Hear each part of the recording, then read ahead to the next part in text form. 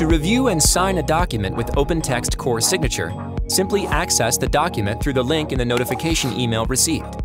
This will bring you to the Core Signature preview window, with instructions to click anywhere in the document to sign.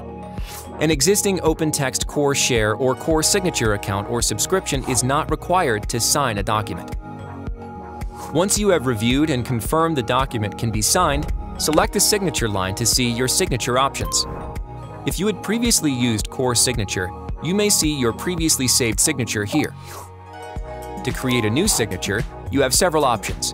You can simply type your name and Core Signature will provide a variety of signature choices for you to select. You can also upload a scan of your saved signature, or you can simply draw your signature. Once you draw your signature, save and insert your signature into the document. You will also have an option to resize or change the positioning of your signature on the signature line.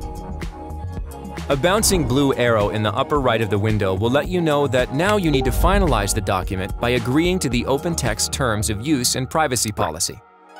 Once you select Sign, you'll receive a confirmation that the file has been signed and sent back to the requester for review both you and the signature requester will receive a notification from Core Signature that the document was signed, with the option to download the document to view offline or sign in to Core Signature to view the signing log, which provides a full audit trail of all actions on the document, including downloads, views, and edits of signatures.